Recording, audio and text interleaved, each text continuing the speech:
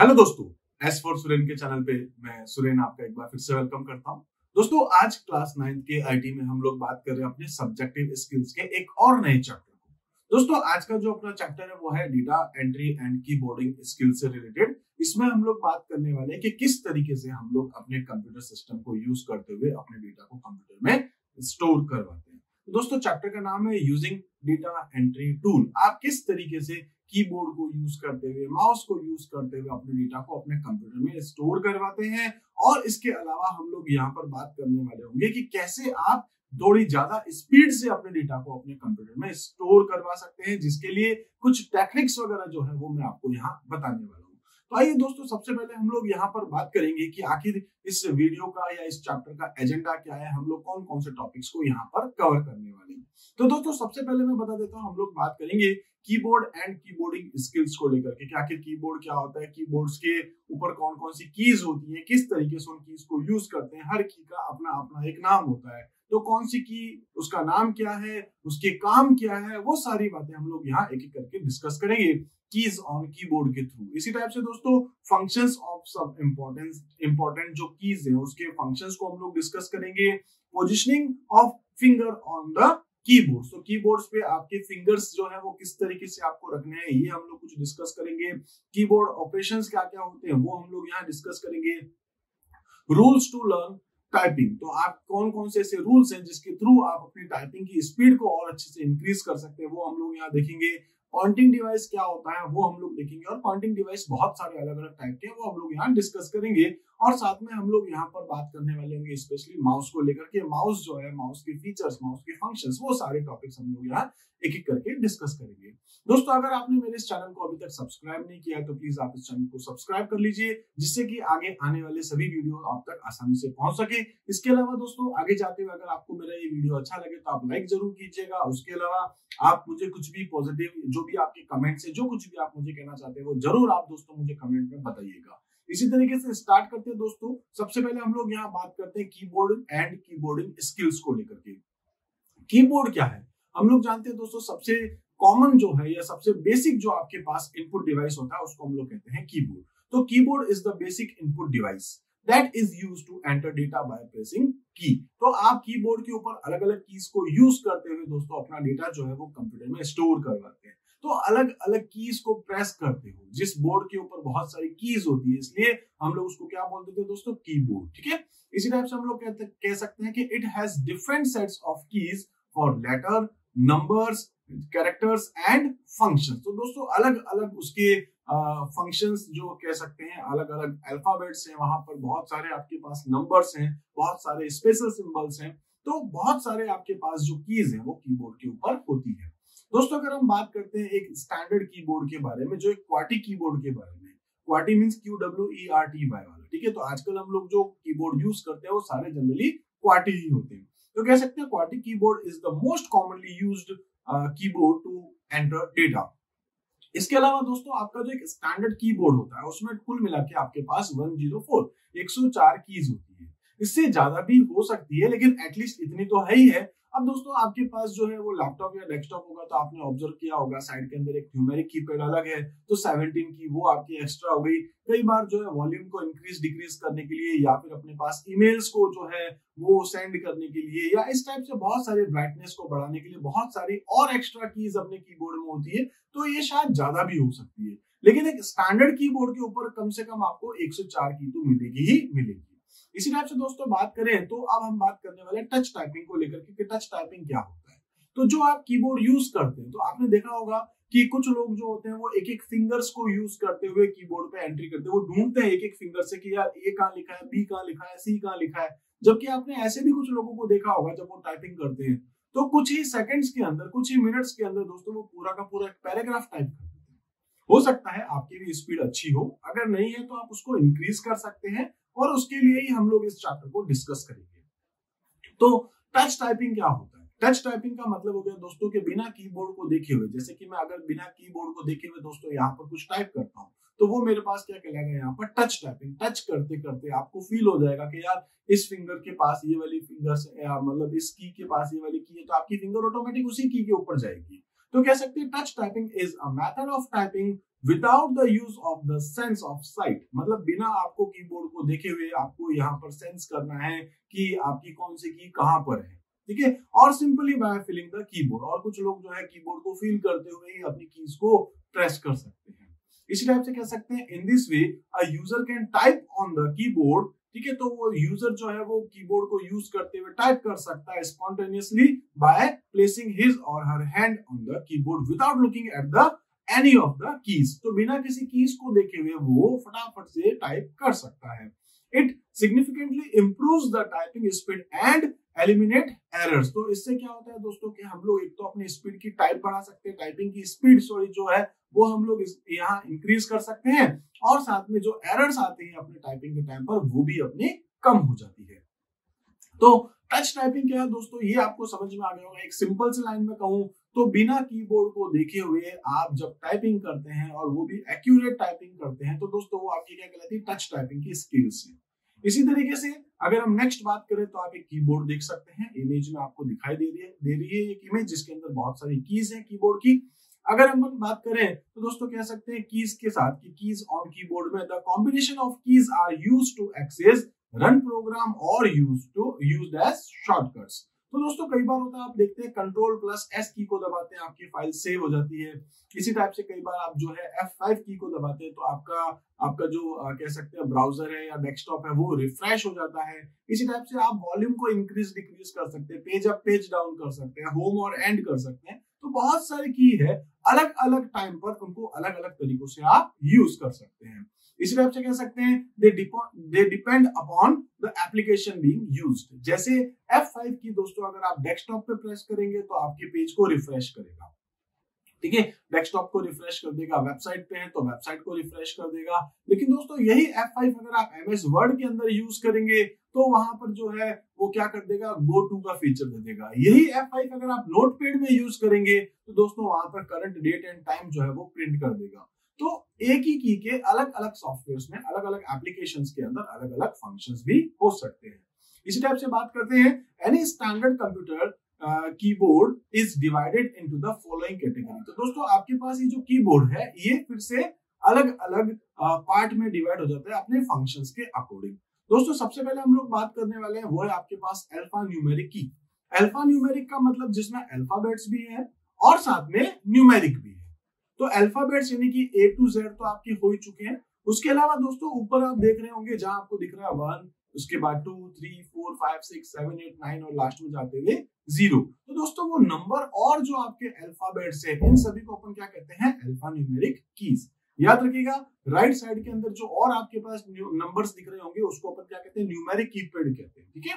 इसी टाइप से अपने पास है न्यूमेरिक पैड तो न्यूमेरिक पैड क्या हो गया? वो मैंने कहा था कि जो आपके राइट साइड में आपको जो कीबोर्ड पे दिख रहा है, जहाँ scroll lock num lock caps lock की लाइट्स दिखती है, उसके जस्ट नीचे। इसी टाइप से नेक्स्ट हम लोग कह सकते हैं पंक्चुएशन कीज है आपके पास। या हम लोग दोस्तों इसको स्पेशल कैरेक्टर कीज भी कह सकते हैं। ये आपके पास ऐसी कीज हो गई दोस्तों जैसे कि आप कह सकते हैं प्लस है माइनस है मल्टीप्लाई है डिवाइड है ग्रेटर देन है लेस देन है एक्सक्लेमेशन है। ठीक है इसी टाइप से आप कह सकते हैं कैरेट का साइन है डॉलर का साइन है। ठीक है हैश है एट द रेट है। तो ये सारे जो है आपके पास एक स्पेशल करेक्टर्स होते हैं या कह सकते हैं पंक्चुएशन कीज होती है। ठीक है इसी टाइप से नेक्स्ट आपके पास है जिसको हम कहते हैं फ़ंक्शन की फ़ंक्शन की जो है F1 से लेकर के F12 तक होती है। F1, F2, F3, F4, F5 ऐसे करते हुए F12 तक। तो फ़ंक्शन की F1 से F12 टोटल 12 कीज आपके पास होती है और अलग अलग सॉफ्टवेयर के अकॉर्डिंग इनके अलग अलग काम होते हैं। जनरली F1 जो है वो हेल्प के लिए होती है। F2 से दोस्तों आप कोई फ़ाइल या फोल्डर को रिनेम कर सकते हैं। ऐसे ही F5 को यूज़ करते हुए आप डेस्कटॉप के ऊपर जाकर के अगर F5 करेंगे तो आप उसको रिफ्रेश कर सकते हैं। इसी तरीके से दोस्तों नेक्स्ट है नेविगेटर कीज है या कर्सर मूवमेंट की जैसे आप देखते हैं कि जो आप जो टॉप बॉटम में या फिर लेफ़्ट और राइट साइड के एरोज में को यूज़ करते हुए अपने कर्सर को लेफ़्ट या राइट टॉप या बॉटम की तरफ़ जो मूव करते हैं। तो फोर कीज तो ये हो जाती है। और फोर कीज और होती है दोस्तों आपके पास में, जैसे होम है एंड है पेज अप है और पेज डाउन है। तो कुल मिला आपके पास एट कीज होती है जिसको अपन यहाँ कर्सर मूवमेंट की या फिर नेविगेटर कीज भी कह देते हैं। इसी टाइप से आपके पास आता है कॉम्बिनेशन की कॉम्बिनेशन की का मतलब हो गया जो एक के, एक अकेला नहीं काम करेगा, एक से ज़्यादा कीज को यूज़ करना पड़ता है। जैसे कंट्रोल ऑल्ट और शिफ्ट को दोस्तों, अगर आप यूज़ करते हैं तो अकेली कंट्रोल कुछ नहीं कर सकता, अकेला शिफ्ट कुछ नहीं कर सकता और ऐसे ही अकेला ऑल्ट अपने आप में कुछ नहीं कर सकता। कंट्रोल के साथ एस दबाना पड़ सकता है सेव करने के लिए। ऐसे दोस्तों ऑल्ट के साथ एफ़ फोर दबाएँगे तो आपका जो कोई भी विंडो ओपन है, वो क्लोज हो जाएगी। ऐसे दोस्तों शिफ्ट के साथ अगर आप कोई की दबाएँगे तो आपके सामने जो है अपर केस में या लोअर केस में जो भी आपके कैप्सलॉक की सेटिंग्स के अकॉर्डिंग उसको वो प्रिंट कर सकता है। तो इस तरीके से आपके पास कुछ कीज थी जो हम लोगों ने यहाँ पर डिस्कस करी और लास्ट में जाते हुए आपके पास एक टॉगल की और आती है। तो दोस्तों टॉगल की आपके पास क्या होगी? जैसे कैप्स लॉक आप ऑन और ऑफ़ करते हो, ठीक है? इसी टाइप से नम लॉक ऑन और ऑफ़ करते हो। ऐसी दोस्तों स्क्रॉल लॉक भी आप ऑन और ऑफ़ करते हो। तो तीन कीज ऐसी होती है जिसको आप एक बार दबाने पर ऑन करते हो, वापस दबाने पर ऑफ़ करते हो। तो ऑन है तो ऑफ़ हो जाएगी ऑफ़ है तो वापस ऑन हो जाएगी। इसको उल्टा करना टॉगल करना तो टॉगल कीज आप देख सकते हैं यहाँ पर आपको तीन लाइट्स या तीन इंडिकेटर लाइट्स दिखती हैं, जो न्यूमेरिक कीपैड के जस्ट ऊपर है। उसके आगे लिखा हुआ भी होता है कैप्स लॉक है नम लॉक है और स्क्रॉल लॉक है। तो तीन कीज होती है जो अपनी टॉगल की कहलाती है। इसी टाइप से अगर अपन नेक्स्ट बात करें तो अपने पास एक टेबल के थ्रू मैं आपको बताने वाला हूँ कि कुछ बेसिक कीज के बारे में कि वो की क्या काम करती है। दोस्तों, सबसे पहले अपने पास है विंडोज़ की। विंडोज़ की को दबाते ही आपके पास स्टार्ट मेन्यू ओपन कर सकते हैं आप। तो स्टार्ट मेन्यू के लिए या तो आप जाकर के स्टार्ट बटन के ऊपर स्टार्ट मेन्यू पे क्लिक करें, या नहीं तो दोस्तों आप कीबोर्ड से विंडोज़ की को चला सकते हैं। तो it looks like a four pane window it open the start menu ऐसी दोस्तों नेक्स्ट आपके पास मेन्यू की है जो क्या करता है राइट क्लिक करने पर जो ऑप्शंस आते हैं मेन्यूज आते हैं, वो आपको दिखाता है। तो कई बार जो है किसी फोल्डर पे आप जाके राइट क्लिक करते हैं अगर आपके पास माउस नहीं है तो दोस्तों आप कीबोर्ड से भी काम कर सकते हैं। उसको किसी तरीके से टैप टैप टैप करते हुए आप सेलेक्ट कर सकते हैं और राइट की वाली जो की की जगह आप यहाँ पर मैन्यू की को यूज़ कर सकते हैं। ऐसे ही एस्केप की होता है तो दोस्तों कोई भी करंट प्रोसेस को बीच में रोकने के लिए आप यहाँ पर एस्केप को यूज़ करते हैं। ऐसी टैप की को यूज़ करते, करने के लिए आपको क्या करना पड़ता है? टैप की को दबाते हैं। तो बाय डिफ़ॉल्ट दोस्तों टैप की क्या करती है? एक जगह से दूसरी जगह पे मूव करती है। जैसे कर्सर को अगर आप देखें तो दोस्तों, हर आधे आधे इंच पर वो आगे की तरफ़ मूव करती है अगर आप एमएस वर्ड में हैं तो।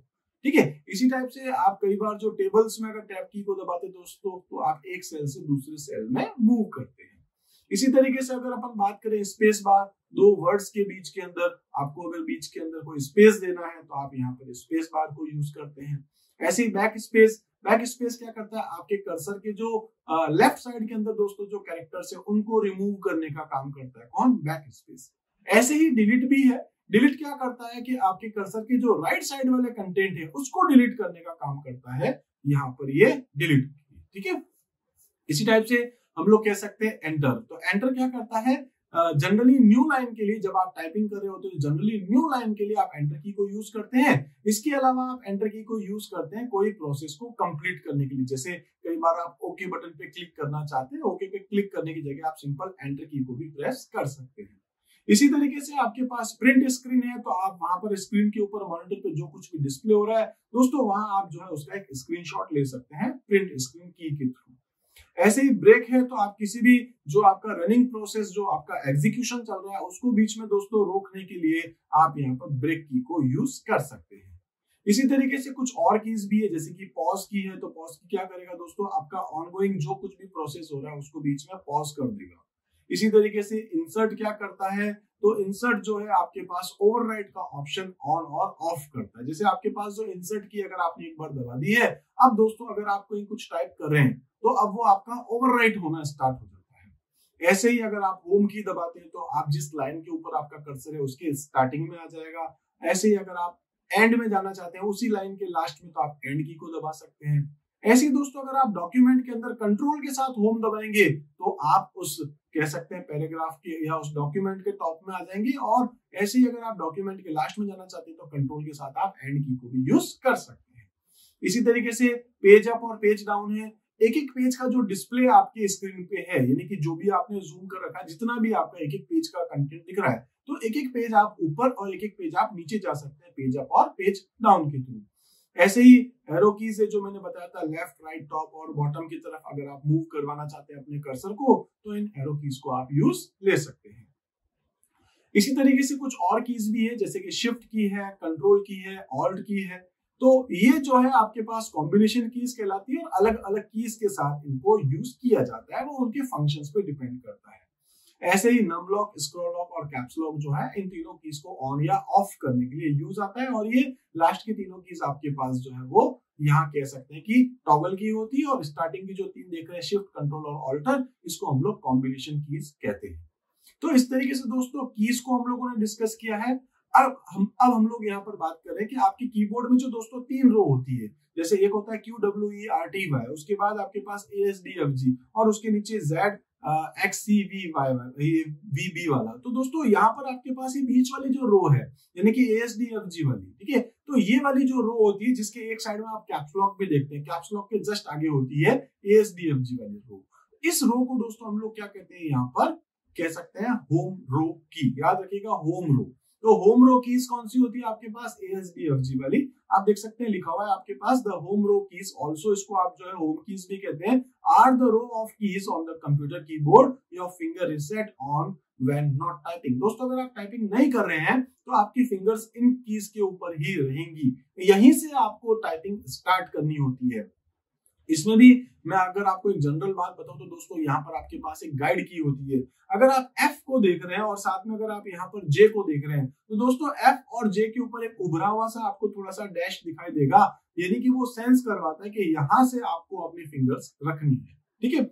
आपको ये सबसे छोटी वाली जो फिंगर है दोस्तों, वो रखनी होती है ए के ऊपर एस डी एफ़ इस टाइप से ए एस डी एफ़ और यहाँ से दोस्तों, आपको रखना होगा सेमिकोलन एल के जे एच ठीक है? एल के जे एच इस टाइप से आपकी फिंगर्स चलती है। तो दोस्तों, यहाँ इस तरीके से आपको फिंगर्स चलानी होती है। A S D F G ठीक है? एफ़ और जी के लिए ये काम आता है और यहाँ से सेमिकोलन एल के जे एच जे और एच के लिए दोस्तों, यही वाली फिंगर आपकी काम आने वाली है।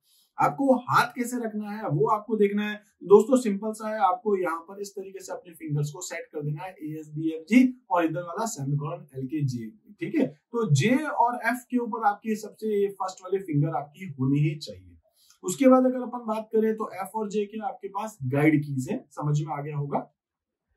इसी तरीके से नेक्स्ट आपके पास है, वो है guide for typing guide for typing का मतलब हो गया कि आपको टाइपिंग करना है। कहाँ से आपको टाइपिंग करना है, ये कुछ चीज़ें आपको बताएगा। जैसे the cursor is used as a guide for typing it is a small vertical line that flickers in the document while typing तो दोस्तों आपका कर्सर कहाँ है? आपको ये दिखा रहा है ठीक है?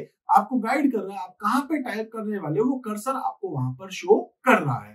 तो हम लोग कह सकते हैं the cursor is used as a guide for typing it is small vertical line that flickers in the document while typing. To move the position of the cursor, you can use the respective arrow key or click the mouse where the cursor needs to be positioned. तो आपको जहाँ कहीं पर भी रखना है, आप वहाँ लेके जा सकते हैं, या तो कीबोर्ड के थ्रू या माउस के थ्रू भी इसी तरीके से दोस्तों, अगर अपन नेक्स्ट बात करें तो पोजिशनिंग ऑफ़ फिंगर्स है वैसे ही, जैसे कि मैंने आपसे कहा था कि फ़र्स्ट रो जो आपको सबसे ऊपर दिखाई देती है, उसको हम लोग नंबर रो कहते हैं, उसके नीचे अपर रो है, उसके बाद में आपके पास होम रो है और उसके बाद बॉटम रो है लेफ़्ट हैंड राइट हैंड किस तरीके से पोजीशन रखनी है दोस्तों, वो उसके नेल्स से आप देख सकते हैं और साथ में कलर भी आपको बताया जा रहा है। एफ़ और जो जे है, वो आपके पास यहाँ पर, जिसको हम लोग कह सकते हैं कि गाइड की भी आपके पास है, ठीक है? तो फिंगर्स कैसे आपको सेट करनी है, वो मैं आपको अभी पहले भी बता चुका हूँ थ्रू इमेज भी मैं आपको वापस यही बता रहा हूँ।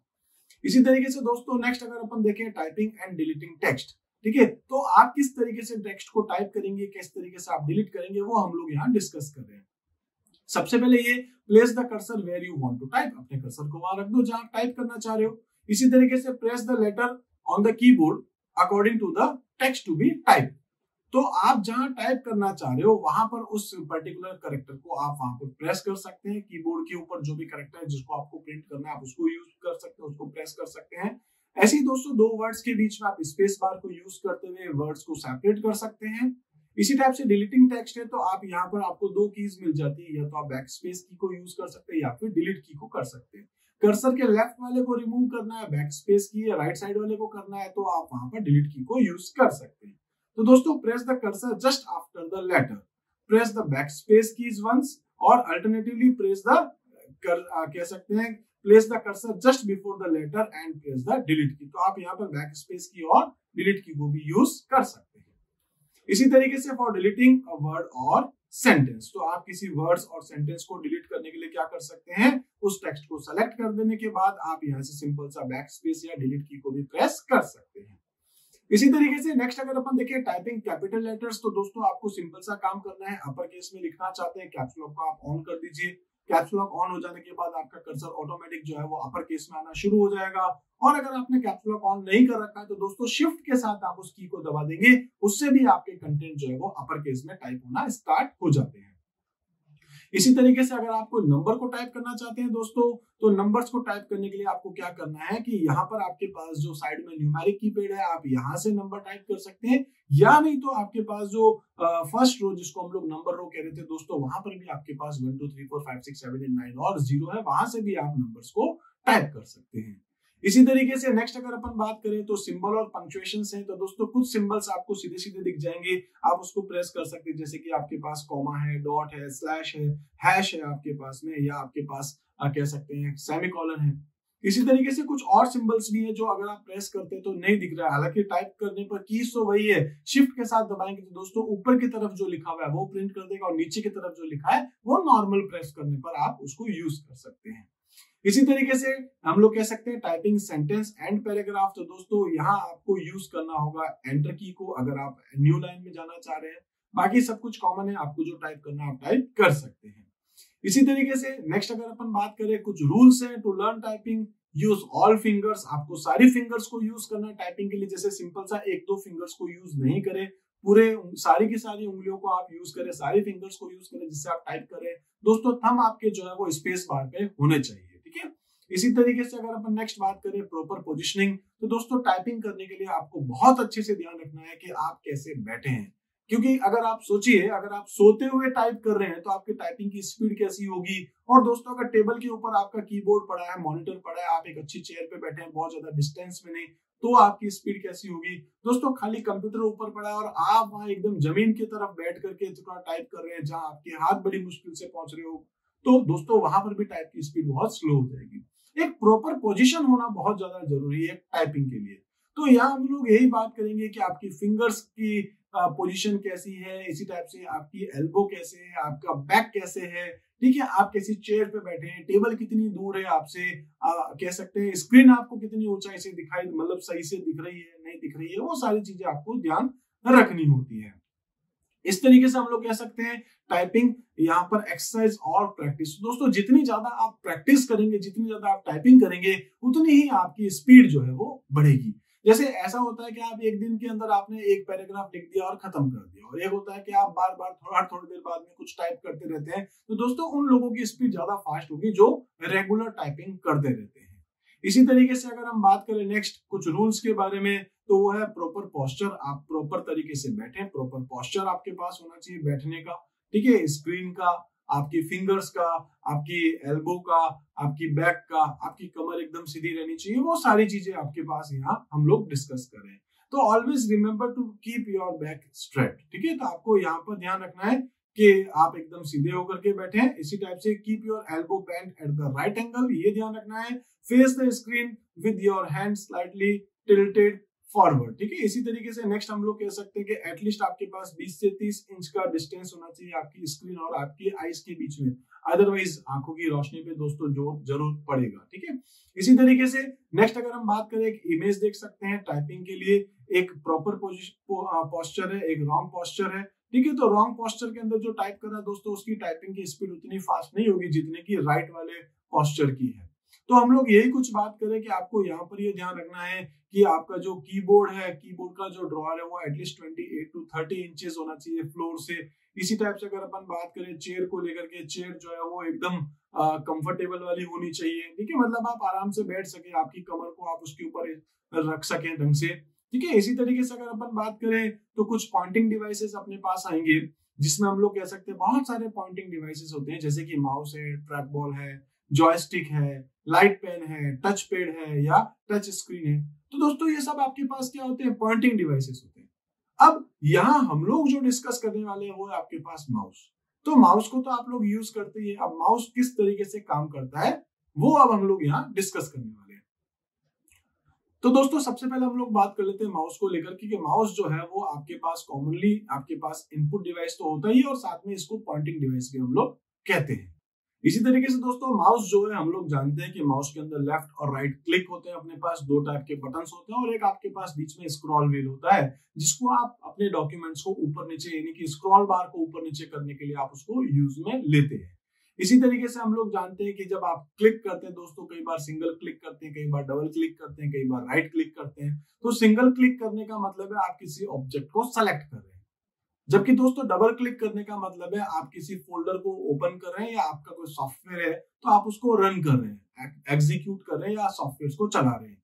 ठीक है, इसी टाइप से दोस्तों, कई बार आप किसी फ़ाइल या फोल्डर पे राइट क्लिक करते हैं ताकि उससे रिलेटेड कुछ ऑप्शंस आपको मिलते हैं। इसी तरीके से नेक्स्ट अगर अपन बात करें प्रॉपर्टीज़ वगैरह जो दिखती है राइट क्लिक के बाद तो अपने पास माउस में कुछ एक और फीचर भी होता है, जिसको हम लोग कहते हैं ड्रैग एंड ड्रॉप तो दोस्तों, कोई भी ऑब्जेक्ट को आप पकड़ के अगर नीचे की तरफ़ लाके छोड़ते हैं ऊपर से ड्रैग करते हैं, नीचे ला करके ड्रॉप करते हैं तो उसको क्या कहते हैं? ड्रैग एंड ड्रॉप जैसे जैसे कह सकते हैं एक इमेज थी, उसको पकड़ा, आपने ऊपर से नीचे लाके छोड़ दिया तो क्या कहलाएगा? ये आपका एक ड्रैग एंड ड्रॉप ठीक है? इसी तरीके से अगर अपन नेक्स्ट बात करें तो माउस जो है, वो ड्राइंग के लिए भी यूज़ आता है। जैसे एम एस पेंट वगैरह आप लोग यूज़ करते हैं। आप कई बार जो है, हम लोग कह सकते हैं कि फोटोशॉप सॉफ्टवेयर को यूज़ करते हैं। तो दोस्तों, वहाँ पर हम लोग ड्राइंग के लिए भी माउस को यूज़ में लेते हैं।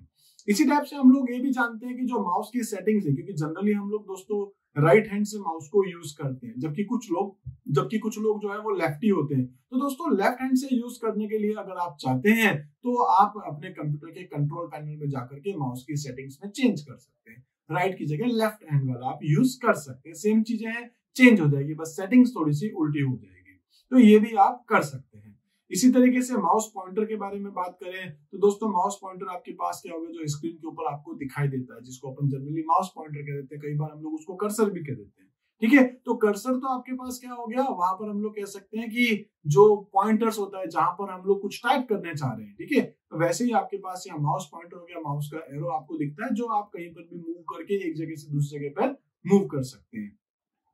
तो इस तरीके से हम लोग यहाँ पर डिस्कस कर लेते हैं कि माउस जो होते हैं वो फिर आपके पास अलग अलग टाइप के होते हैं। बेसिकली माउस दोस्तों आपके पास तीन टाइप के होते हैं, जिसमें एक हम लोग कह सकते हैं मैकेनिकल माउस मैकेनिकल माउस हम लोग अब यूज़ नहीं करते हैं, बहुत पहले यूज़ करते थे, नीचे एक रबर की बॉल आया करती थी, जिसको हम लोग यहाँ पर कह सकते हैं कि ये माउस नीचे जिसमें बॉल आती थी, इसको हम लोग मैकेनिकल माउस कहा करते थे? इसी टाइप से अपने पास आता है ऑप्टो मैकेनिकल माउस है, ठीक है? ऑप्टो मैकेनिकल माउस जिसके अंदर यहाँ पर मैकेनिकल माउस के साथ ऑप्टिकल सेंसर भी साथ में अटैच होना स्टार्ट हो गया। और दोस्तों, अब हम लोग जो माउस यूज़ करते हैं, वो सारे आपके पास ऑप्टिकल माउस होते हैं। तो ऑप्टिकल माउस जो है, वो कॉमनली यूज़ आ रहे हैं। इन दिनों में आप जो देख रहे हैं, नीचे लेजर लाइट आपके पास आ रही है, नीचे वाली बॉल गायब हो चुकी है।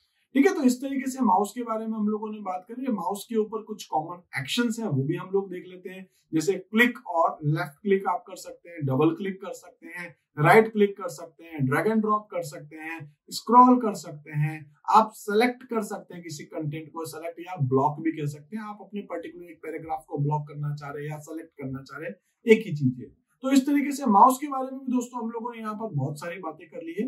तो आज इस वीडियो में दोस्तों हम लोग इतने ही टॉपिक को डिस्कस करते हैं। ऑलमोस्ट इस चैप्टर से रिलेटेड सारे टॉपिक्स हम लोगों ने यहाँ डिस्कस कर लिए हैं। तो दोस्तों मिलते हैं अपने अगले वीडियो में। लेकिन दोस्तों अगर आपने अभी तक भी मेरे चैनल को सब्सक्राइब नहीं किया है तो दोस्तों आप इस चैनल को ज़रूर सब्सक्राइब कीजिए। आपने अगर लाइक नहीं किया है लाइक ज़रूर कीजिए। उसके अलावा दोस्तों कमेंट में आप मुझे ज़रूर कुछ बताइए कि आप और मुझसे क्या कुछ एक्सपेक्ट करते हैं, मैं अपने वीडियोस को और किस तरीके से इंप्रूव कर सकता हूँ। तो मिलते हैं दोस्तों अगले वीडियो में, तब तक के लिए आप मेरे साथ बने रहिए। Thank you